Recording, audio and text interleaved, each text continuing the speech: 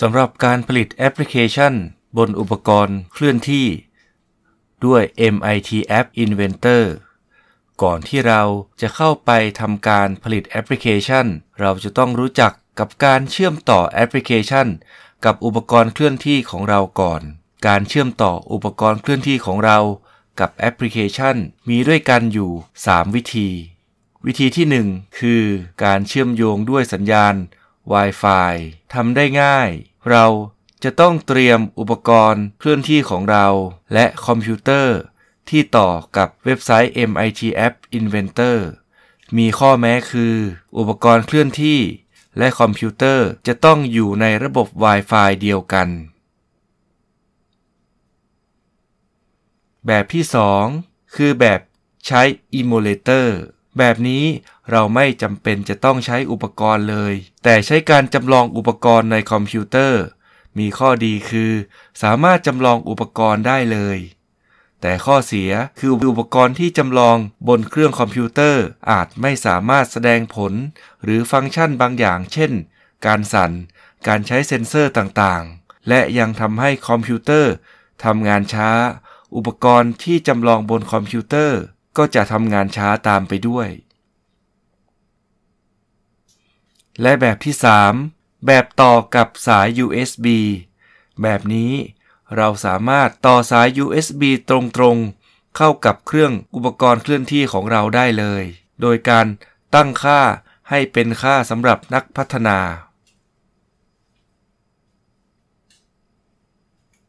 สำหรับวิธีการแรก ข้อดีคือ เราไม่จำเป็นจะต้องดาวน์โหลดซอฟต์แวร์ใด ๆ ลงบนเครื่องคอมพิวเตอร์ของเราเลย ทุกอย่างทำได้บนหน้าเว็บไซต์ของ MIT App Inventor ข้อแม้เพียงอย่างเดียวคือ เครื่องคอมพิวเตอร์ของเรา และเครื่องอุปกรณ์เคลื่อนที่จะต้องอยู่ใน Wi-Fi วงเดียวกัน เมื่อเรามีอุปกรณ์เคลื่อนที่ ให้เราโหลดโปรแกรมที่ชื่อว่า MIT AI2 Companion App ลงบนโทรศัพท์ของเรา โดยการใช้ QR code ดังปรากฏ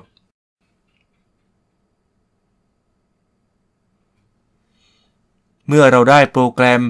MIT AI2 Companion บนเครื่องของเราแล้ว ลักษณะของโปรแกรมจะมีลักษณะเป็นโปรแกรมที่ใช้รับข้อมูลจากเว็บไซต์ MIT App Inventor เราจะลองทดสอบกันนะครับ ของเว็บไซต์ MIT App Inventor จะพบปุ่ม Create App คลิกปุ่ม Create App หน้าแรกจะปรากฏ แอปพลิเคชันล่าสุดที่เราสร้างขึ้นมา ในที่นี้ให้เราไปที่ Start New Project ตั้งชื่อโปรเจกต์ครับ เมื่อตั้งชื่อโปรเจกต์แล้ว เราจะพบกับหน้าจอของ MIT App Inventor อย่างง่ายๆครับ แบบนี้ ขั้นตอนต่อมาทดลองพิมพ์ข้อความบางอย่างลงไปบนหน้าจอ การพิมพ์ข้อความไม่สามารถพิมพ์ลงไปตรงๆได้ จะต้องมีการนำป้ายเลเบลจาก Palette User Interface ด้านซ้ายมือ โดยการลากแล้ววางลงไป เราสามารถเปลี่ยนแปลงข้อความได้ โดยการกำหนดที่ค่า property ด้านขวามือ มองหาคำว่า text แล้วเปลี่ยนแปลง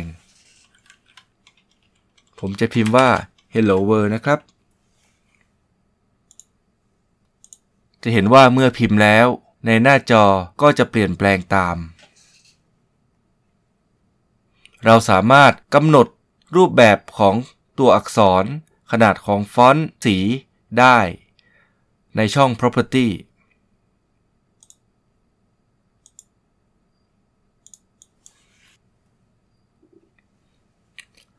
เราลองมาทดลองกันนะครับ ว่าโทรศัพท์ของเราจะสามารถ รับโปรแกรม Hello World ที่เราเขียนได้หรือไม่ โดยการไปที่คำสั่ง Connect คลิก แล้วเลือกแท็บแรกครับ AI Companion เมื่อคลิก จะปรากฏ QR code ขึ้นมา ให้เราใช้โทรศัพท์มือถือของเรา อ่านค่า QR code โดยผ่านโปรแกรม MIT AI2 Companion ตัวโปรแกรมก็จะอ่านค่าของโปรแกรม Hello World ของเรา แล้วเสนอ บนหน้าจอของเครื่องมือถือครับ หากทำสำเร็จ แสดงว่าเราสามารถ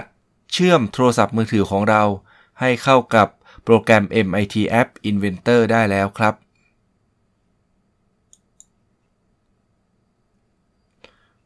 วิธีการต่อมา คือการใช้การเชื่อมโยงแบบ Emulator วิธีการนี้เราจำเป็นจะต้องโหลดแอปพลิเคชัน App Inventor Setup Software ลงไปก่อน ซึ่งสามารถดาวน์โหลดได้ตามนี้ครับ เมื่อดาวน์โหลดเสร็จแล้ว ให้เราจัดการติดตั้งแอปพลิเคชันลงไปบนเครื่องคอมพิวเตอร์ของเรา จะปรากฏไอคอนเล็กๆ บนหน้าจอของเรา มีชื่อว่า aiStarter เมื่อเราดับเบิลคลิกที่ไอคอน aiStarter โปรแกรม จะทำงานในลักษณะของจอแบบนี้ครับ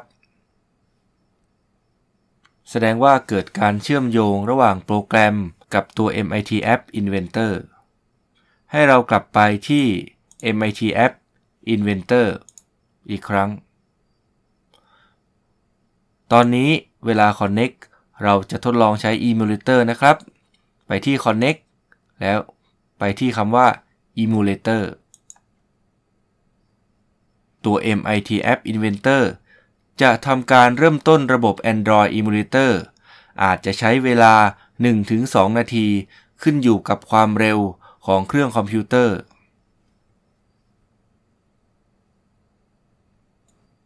หากทำสำเร็จจะพบว่า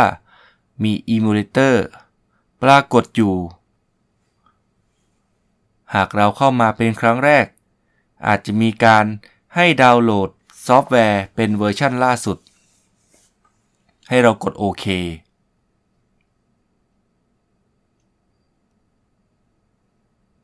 Emulator จะทำการจำลองตัวเอง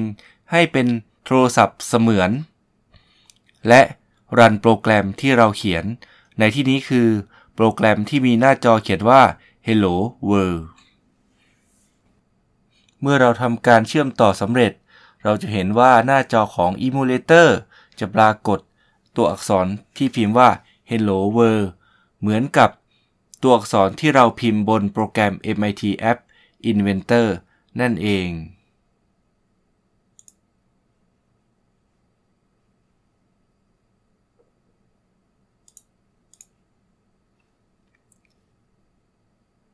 ส่วนวิธีสุดท้ายเป็นวิธีการเชื่อมโยง อุปกรณ์โทรศัพท์มือถือของเรากับ MIT App Inventor ด้วยสาย USB วิธีการคือให้นำสาย USB เสียบกับอุปกรณ์ และเสียบที่ช่อง USB port ของคอมพิวเตอร์ของเรา จากนั้นจัดการติดตั้งซอฟต์แวร์ที่จำเป็นสำหรับให้เครื่องคอมพิวเตอร์ของเราสามารถติดต่อกับโทรศัพท์เคลื่อนที่ได้ ซึ่งจะแตกต่างกันไป ตามยี่ห้อและรุ่นของโทรศัพท์ เมื่อเชื่อมโยงแล้ว เราจำเป็นจะต้องให้โทรศัพท์เปิดอยู่ในโหมดของ developer หรือผู้พัฒนา ซึ่งเราจะต้องดูในคู่มือของโทรศัพท์ของเราว่า วิธีการเปิดโหมดผู้พัฒนานั้นทำอย่างไร โดยปกติเราจะไปที่ Setup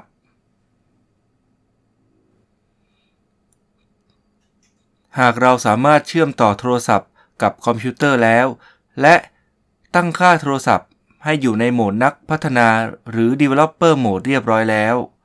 ให้เราโหลดโปรแกรม MIT AI2 Companion ลงบนโทรศัพท์ของเรา แล้วทำการเชื่อมต่อด้วยสาย USB หากเชื่อมต่อสำเร็จโทรศัพท์ของเราจะปรากฏ Hello World ขึ้น จากวิธีการทั้ง 3 แบบ จะเห็นว่ามีความแตกต่างกันไป วิธีการที่เป็นที่นิยมและเรียบง่ายที่สุด คือวิธีการ เชื่อมโยงด้วยแอปพลิเคชัน ด้วยการเชื่อมต่อแบบ Wi-Fi นั่นเอง